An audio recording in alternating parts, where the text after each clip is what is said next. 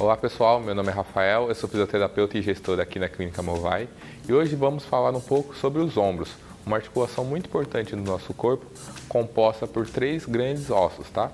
A clavícula, a escápula aqui mais posterior e o úmero, um osso aqui no braço. E essa articulação, ela permite uma grande amplitude de movimento, tá? E esse, esse grande grau de movimento é o que também leva ela a ser suscetível a lesões e dores, tá? Então, é muito importante que a gente é, receba uma, uma boa avaliação, caso você tenha alguma dor ou lesão no ombro, para que a gente consiga identificar e diagnosticar qual seja o problema, né?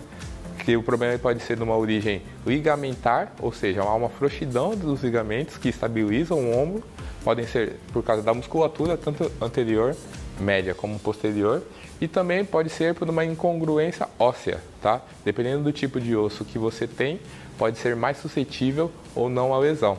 Tá? E isso é o que vai nos é, dar mais subsídios para fazer o melhor tipo de tratamento. Então, de repente, se você tem aquela dor no ombro chata que não melhora, pode ser porque o diagnóstico não foi bem feito. Tá? Então, é muito importante que vocês tenham uma boa avaliação para saber qual é a causa, para que o tratamento seja mais suscetível. Nos vemos semana que vem com mais uma dica de saúde.